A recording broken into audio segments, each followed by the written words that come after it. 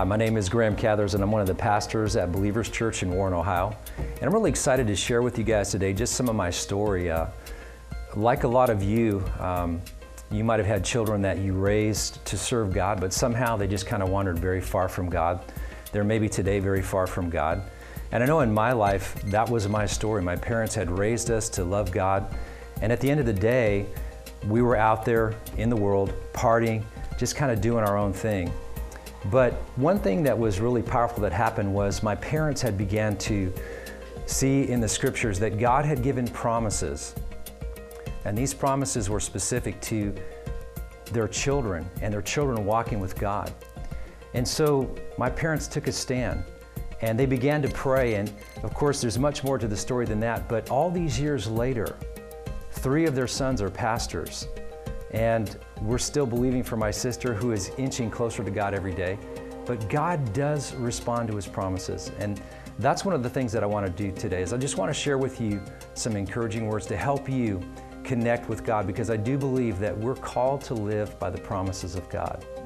And if you think about it, even our salvation, the whole idea of knowing that I'm going to heaven, and that I am a child of God is based on the fact that I have believed and acted on one of His promises, that whoever calls on the name of the Lord will be saved. So today I'm just looking forward to kind of sharing my journey, uh, and my journey really involves the, the journey of praying parents who love their kids and, and their hearts were broken over the fact that their kids were not walking with God. So today my hope is that you'll be encouraged uh, and, and not lose faith and just keep up the good fight.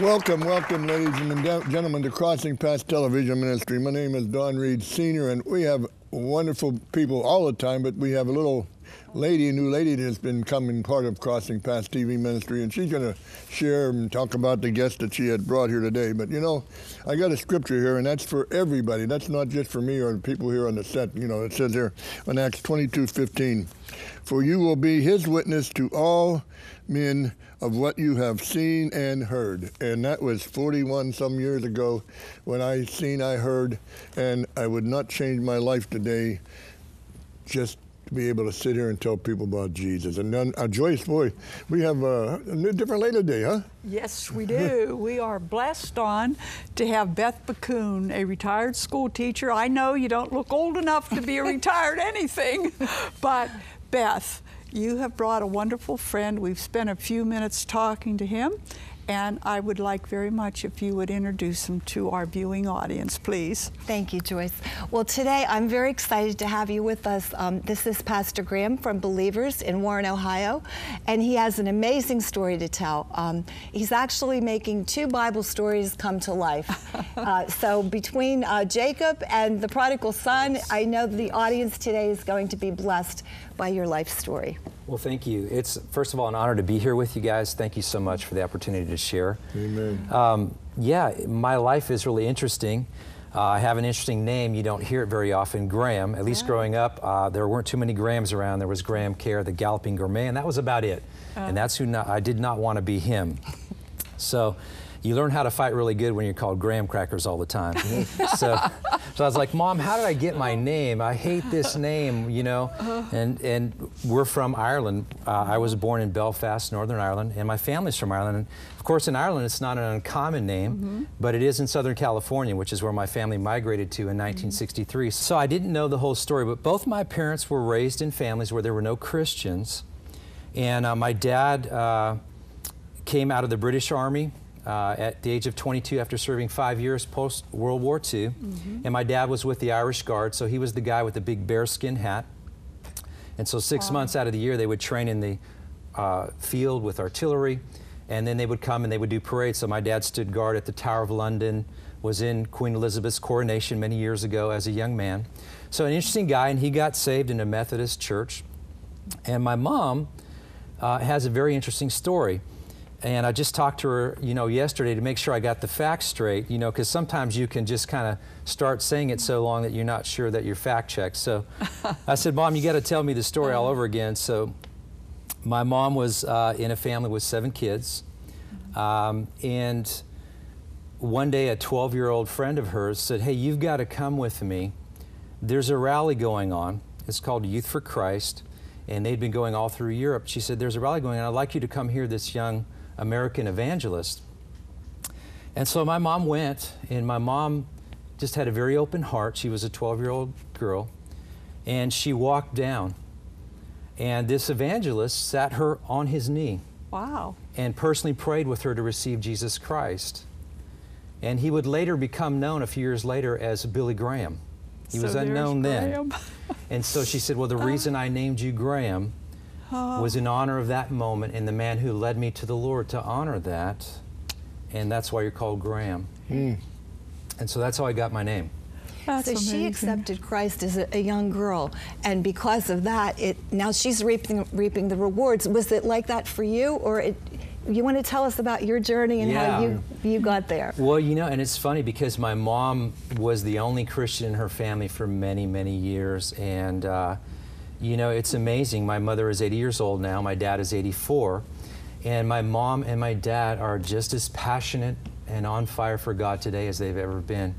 Uh, remarkable people. So my journey was a little different. And uh, because they were raised in homes where they didn't go to church, they assumed what a lot of people do.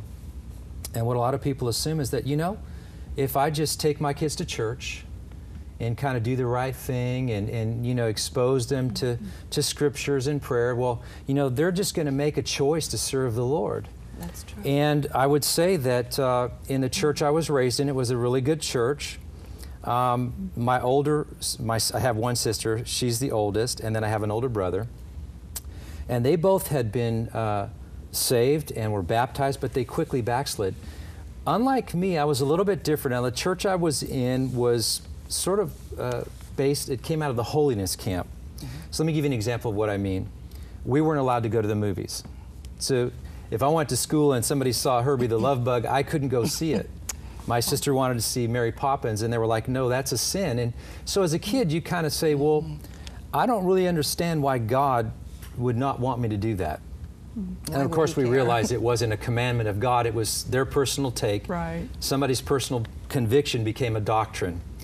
But unfortunately, that became a stumbling block to me. So what happened was, I saw the approach to God is that if I give my life to God, um, it's just going to become this boring life, and I will not be allowed to do anything in life, and I just don't want that. So, oddly enough, it's I would hear these altar calls every Sunday, and on many occasions, I would feel the Holy Spirit convict me, and I can remember saying, "No, no, mm-hmm. no, I don't. I don't want to live this life. It's no fun." Mm-hmm. And uh, the closest I came was when I was eight years old. And I remember as an eight year old, we always sat in the second to the last pew. You know, that's how you knew who was at church because we all had seats. and there were a lot of kids in my family, so mom and dad stayed in the uh-huh. back row. My dad was the worship leader, my mom was the, the person who led worship for Sunday school. My dad was a board member. They were heavily involved in the church. I had a drug problem even back then. They drugged me to church Wednesday, Sunday morning, Sunday night. They drug us to church all the time.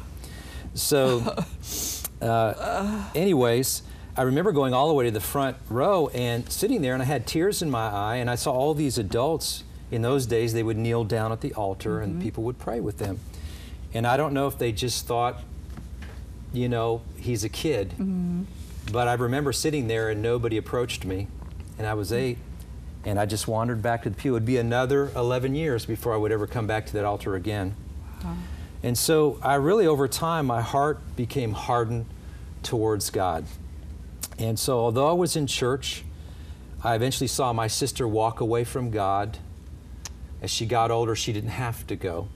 I watched my older brother walk away from God as he got older. He didn't have to go. Well, and I never had a relationship with God, but I was in a church. Mm-hmm. You know, you can be in church and not be mm-hmm. saved. Absolutely. And so I was one of those. It didn't mean that I didn't believe in what they were saying or mm-hmm. respect what they were saying, but I just said, that's not for me. I, I want to do one of those deathbed conversions mm. where I punch my ticket for heaven just before I die because I want to live the life that I choose, mm-hmm. which is really a lie. We don't live our own lives. You know, when we're in the kingdom of darkness, we're being mm-hmm. manipulated like mm-hmm. puppets. We think we're doing our own thing, but obviously there's a mastermind behind that. so true. Right. So I thought I want to do my own thing, and and so what happened was there came a point where all the older kids and my younger brother had actually accepted the Lord and was serving the Lord, but all of us older kids were walking away from God. We were far from God. and we were living lives that were dishonoring God. You got involved in the real world then. I as we did. say. Unfortunately, you know, um, the school district that I grew up in, I was I was raised in Los Angeles County, and uh, you know, I mean, my high school class would have about a thousand seniors to it, 900 to a thousand seniors every year, and even back then in the 70s, our dropout rate was 50% at my high school. So I took my first hit of a joint when I was nine years old. I became a regular drug user at the age of 12, and I partied all the way through. You know, I just did that, and that's what I live for. And um, so I, my parents, something happened. My dad uh, and my mom, they were brokenhearted, and, and maybe a lot of people out there in the audience can can relate to that that feeling of like, you know, I raised my kids, and you know, God, did I do something wrong? What what, what happened? I mean, my kids have left the church. They they seem to want to have nothing to do with God. Now my grandkids are, are out of church and I'm trying to reach them for God. And, you know, what do I do? And so they were in a place where they were seeking God for answers. And so my father happened to pick up a book by a man by the name of Watchman Nee, Oh, who'd boy. been martyred for the Lord in China. Yes. And uh, he began to read something that he'd never heard before. And, you know, it's, it's hard to, to do something if you don't know what you should do. And of course, they'd mm-hmm. been praying for us since the day of our birth, hmm. but to no avail, it seemed. And so my dad began to read this teaching, and he, something went on the inside of him, and it went like this. Watchman in his book, he said, God saved Noah and his household. Mm-hmm. And then it said, God saved Rahab and her mm-hmm. household. And when you look at Rahab, it's Right. literally cousins and everyone.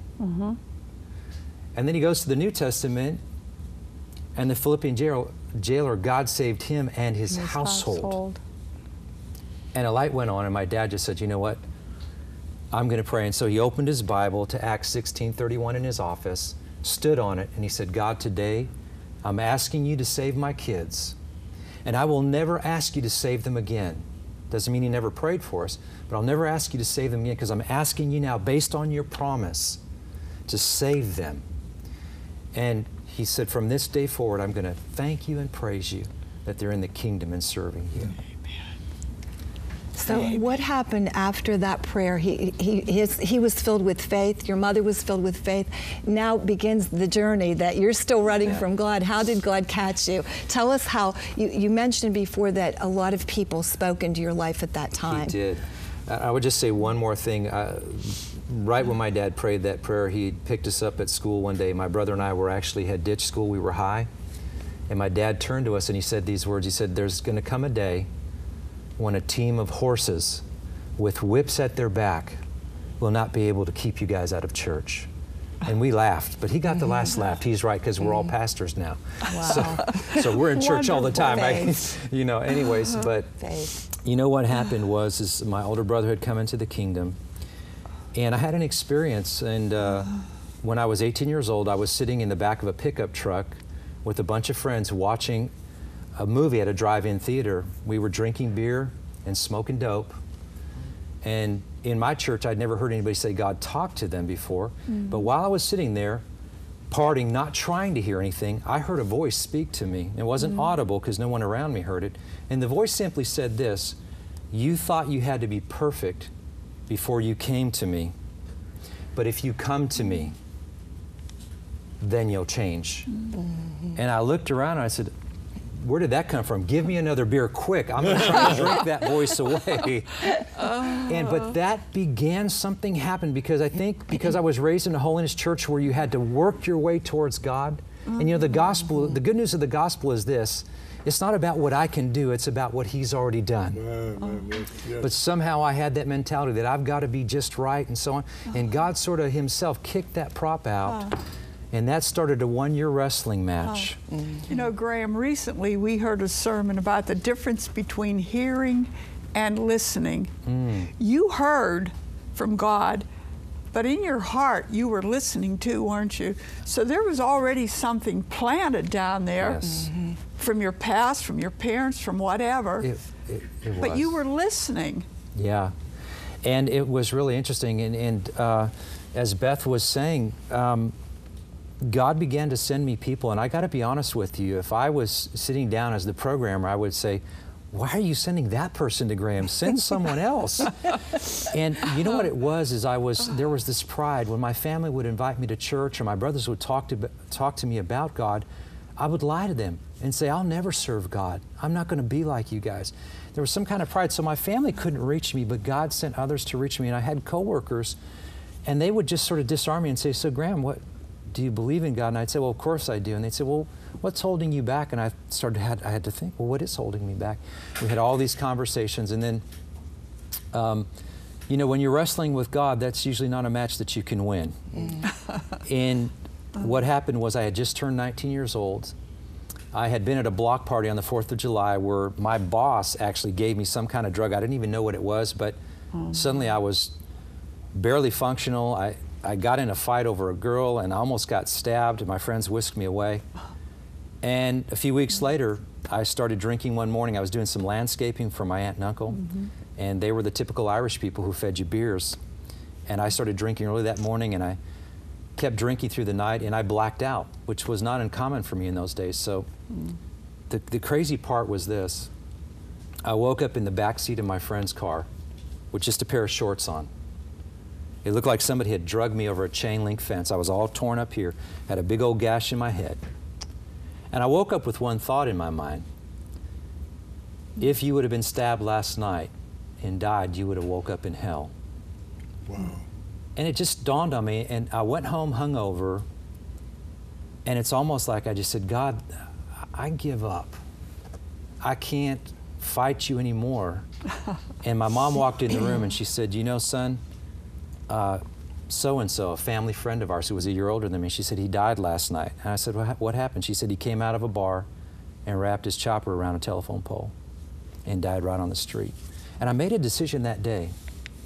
I said, I'm going to church next week and I'm going to give my life to Jesus. Wow. And so I told all my friends that I partied with, and a lot of them were from different backgrounds. I said, hey guys, this is the last week you'll ever get to party with me, so let's just party Let's do it as hard as we can because come Sunday, I'm going to give my life to Jesus Christ. And they laughed at me. They said, You're nuts. You're crazy. They said, You'll last about two weeks. We know you. And so I got up on a Sunday morning, which shocked my family. They all started going to church. And I didn't even know where my brothers went, but I got in my pickup truck. I started following them on the freeways.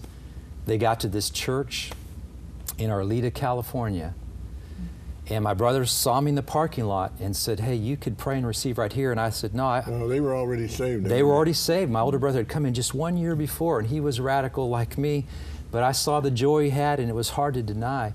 And so, right there in the parking lot, I don't know if I should say this or not, but I just said, "Guys, I'll never be able to do this again. Oh. I said, so, and I cussed them out in the church parking lot. I just cussed them out. I called them every foul thing I could. Oh. And we went into church, and this guy who had been uh, an ex heroin addict, a gangbanger from East LA who'd come from the nation of Nicaragua, had a really uh-huh. thick accent. He's now within heaven. His name was Pastor Omar Enriquez. And he preached with this accent. I don't think I understood anything he said. I was just waiting for the altar call. And at the very end, of that service, he said, Glory to God, brothers. Is there anybody who wants to receive Jesus Christ as their Lord and Savior today? And I said, That's me. And so he said, Come on up here, brother. And so we prayed the prayer to receive Jesus Christ. And uh, that was August 3rd, 1980. And I can tell you, that was the best day of my new life. That's the day you put down the bottle and picked up the Bible. Huh? Absolutely. And you never drank Absolutely. since then? You know, I, I, have a couple of testimonies about that. I was really tempted to drink quite a bit in the first three months. Mm-hmm. And um, I actually shared this recently in a message. And the way I got cured wasn't the typical way. I just one night, uh, I found my best friend who I'd led to the Lord, and uh, I said, You know, I said, I don't want to be a hypocrite but I'm really struggling to live out Christianity. Mm-hmm. And I feel, I feel guilty all the time, and I feel like I'm always asking God to forgive me. And He goes, Me too. Of course, I didn't know that the enemy was accusing me, and I didn't right. know He was condemning me. Right. Conviction draws us to God, mm-hmm. condemnation pushes us away. But I was feeling condemned. I, I was a young Christian, I didn't know how to fight it. So we went out that night. I said, Let's go get drunk. And we did. We got drunk. But an amazing thing happened was I used to live for that. And the whole time we were drinking, all we could talk about was Jesus. And then we went to, and crashed a party drunk. I hate to say this. My first sermon was as a drunk evangelist. I preached the gospel to a bunch of my friends drunk, gave an altar call. Nobody got saved. But that I night was a wonder great discovery. Was this thing that was constantly tempting me when I when I actually got high? I said, "Hold on, is this what I used to live for?"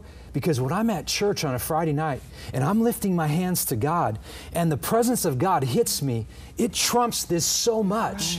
It's so much greater, this new wine. And He is so much better Amen. than anything. And that was never a temptation again. And in my day, I'm a little older, but in my day, they used to have a saying. It goes like this There's no high like the most high. And we took that literally. But that's when I, yeah, I've never drunk since then. So So about three months that's, in. so that just shows you you can backslide. I mean, we're, we're Christians under construction, you know. I, I know time is running out here so fast, but you had told me something. They're you know raised in this holiness church, and there's a good church, and they be preaching born again probably, and Mm-hmm. and this religiosity. That's the toughest spirit today is religiosity. Yeah. You know, I can do what I want, do I and go to heaven, or uh, no matter what what God's going to you know do this. We've heard so many stories on these TV. Right. Now, there comes a time when maybe you were seeking additional power. Did something happen in your lifetime on this? Yeah, actually, um, you know, I- as you said, I was raised in a church where they really didn't talk much about the Holy Spirit was mentioned, but just as part of the Trinity.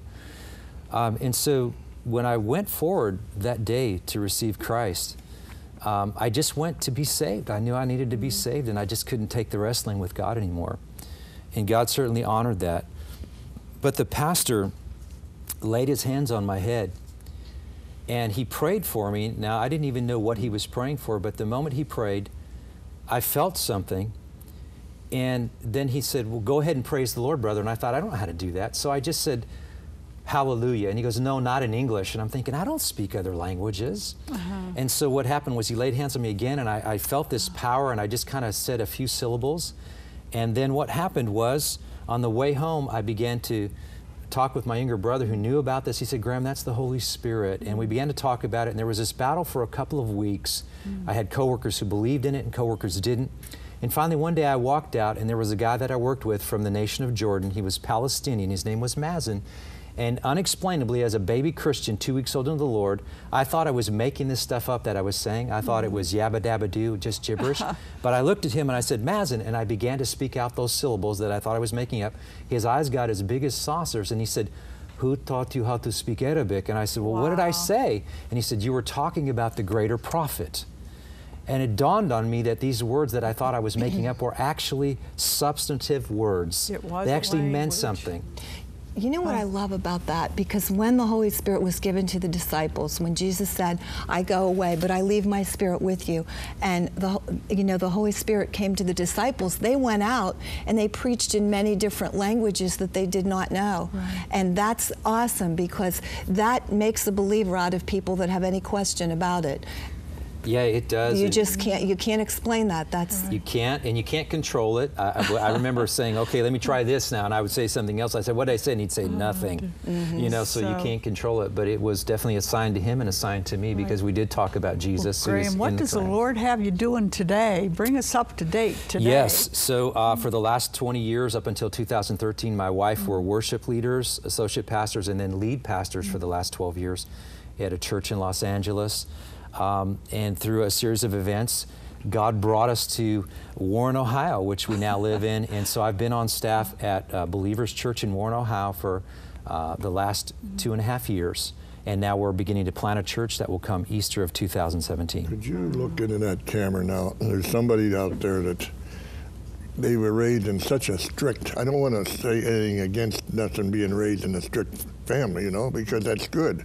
Yeah. But you can overdo it, you know, mm-hmm. and, and, and, and the kids today are, don't want that, and I think sometimes it drives them away. You know, Yeah. the parents mean it well. does. Yeah. Mm-hmm. But you know that holiness, holiness, holiness sometimes is a little bit too much for some Yeah. people. Now, just in the camera in one minute there, could you just maybe there's somebody out there who's been through what you've been through. Absolutely. You know, the thing about the gospel is it's called the good news. Right. And there's a couple of different approaches that you can have. And the mindset that I have, and I'm not saying that these people that preached in the church I grew up in intended for this to happen, but this is how it came through my filter is that if I want to please God, I've got to meet all of His standards and I've got to be this perfect person. And if I don't get it just quite right, you know, I'm, I'm on the naughty list. I'm not really going to be accepted by Him. And when you think about the gospel and the good news of the gospel, it's really just the opposite of that. Because the gospel and the good news of the gospel is not about what I can do, but about what He's already done. So, salvation is not something to be achieved, but it's something to be received.